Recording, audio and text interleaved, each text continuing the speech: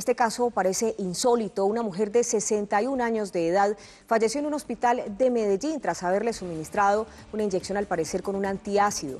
Este medicamento había sido recetado por un médico pero de forma oral. El caso ya pasó a la justicia.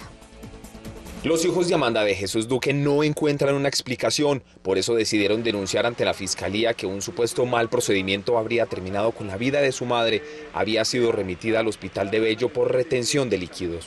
En el momento estaba mi padre, en el preciso momento, y como mi madre estaba bien, pues inmediatamente le aplicaron eso, ella se desmayó y la, la carita le puso muy morada.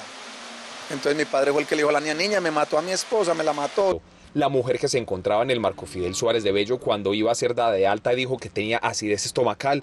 El médico le habría recetado un antiácido. Falleció luego de ser remitida al hospital La María. Al parecer allí de una manera accidental se le aplican 30 centímetros eh, de un antiácido conocido como milanta intravenoso en el Hospital Marco Fidel Suárez eh, realiza dos paros cardiorrespiratorios. Es remitida aquí al Hospital La María, donde la paciente ingresa en malas condiciones, en paro cardiorrespiratorio. El caso ya es investigado por la Fiscalía.